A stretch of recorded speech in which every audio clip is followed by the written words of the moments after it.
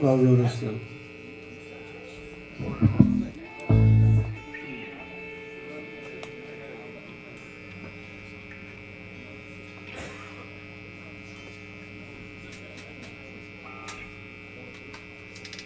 lost a good man on Monday. Somebody that was a good friend, a beautiful artist, and meant a lot to probably a lot of people in the room. Neal Casal. Those of you that didn't know him, maybe you'll discover him down the road or this one's for him.